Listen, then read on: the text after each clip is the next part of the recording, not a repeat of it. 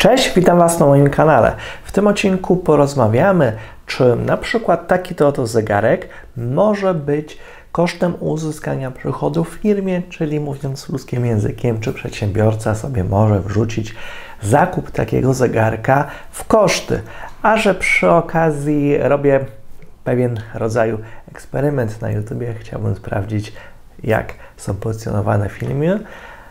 Powiedzcie mi, czy nie widzieliście być może podobnego odcinku na tym kanale jakiś czas temu? Zapraszam do oglądania. Czy zegarek może być kosztem uzyskania przychodu w jednoosobowej działalności gospodarczej? Na pierwszy rzut oka wiele osób powiedziałoby, że nie, bo znamy tą niestety tendencję fiskusa, który ma skłonność do zaliczania takich wydatków jako wydatki o charakterze wyłącznie osobistym, co kłóci się z definicją kosztów uzyskania przychodu zgodnie z artykułem 22 ustawy o podatku dochodowym od osób fizycznych. Więc pytanie, czy zegarek może być w koszt uzyskania przychodu? Bo na przykład, jeżeli byśmy powiedzieli sobie o takim większym zegarku albo zegarze, który sobie postawimy w kancelarii, w sali konferencyjnej, żeby tutaj klienci widzieli, żebyśmy sobie tutaj odmierzali czas, no to już takiego problemu z tym nie ma, no bo widać, że to nie jest raczej zakup o charakterze wyłącznie osobistym. Ciężko to się nosi na ręku, więc tutaj taki zegarek sobie wstaje w kancelarii, to jak najbardziej w sali konferencyjnej może być kosztem uzyskania przychodów.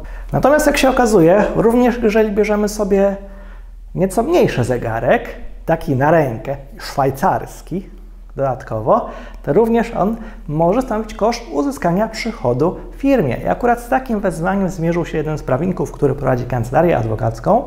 Wystąpił do fiskusa o indywidualną interpretację podatkową, czy może sobie zaliczyć taki zegarek jako koszt uzyskania przychodu. Z tym, że oczywiście to należy ładnie uzasadnić, w jakich okolicznościach i dlaczego chciałby sobie zaliczyć taki zegarek koszt uzyskania przychodu.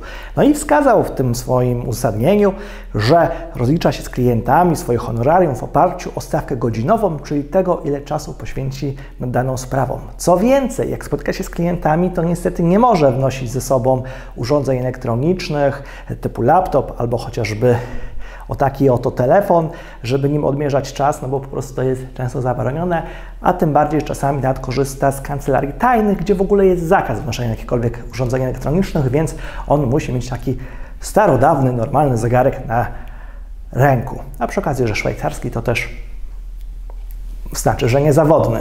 No i co ciekawe, fiskus przyznał mu rację.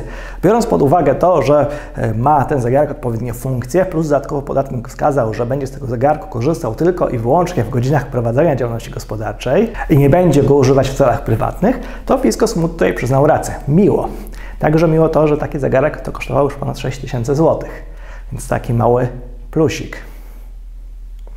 E, co ciekawe, Fiskus nie ma żadnego problemu z innymi nieco zegarkami, ze smartwatchami. Takie już zegarki jak najbardziej Fiskus pozwala zaliczyć jako koszt uzyskania przychodu. Fiskus zauważył, że faktycznie mogą się przyczynić do zwiększenia efektywności danego przedsiębiorcy, a co z tym idzie do zwiększenia przez jego przychodów, bo na przykład za pośrednictwem takiego smartwatcha może czytać swoje maile, odbierać telefon, bez konieczności odrywania się od głównego zajęcia i szukania tego telefonu.